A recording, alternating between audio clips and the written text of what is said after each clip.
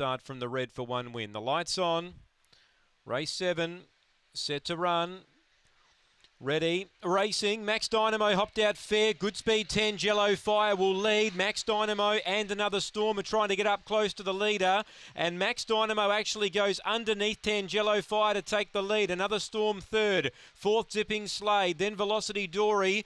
Bad Lieutenant Rogue Planet last. Off the back. Max Dynamo two clear. 10 Jello Fire tries to come again. Three lengths away. Then to another Storm turning. Max Dynamo in front. 10 Jello Fire. Rogue Planet rattling home late. 10 Jello Fire grabbed the winner and beat it. Or grabbed the runner up, Max Dynamo, and beat it. Third Rogue Planet out deep, swallowing them up late, but ran out of ground.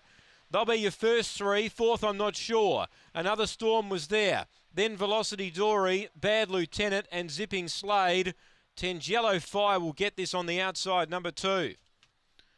Number two wins from five Max Dynamo.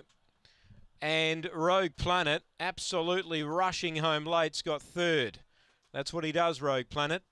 And knows the winning margin. 10 Jello Fire, three in a row for her. Four is second, uh, four is third, I should say, and seven is fourth. Another Storm, two, five, four.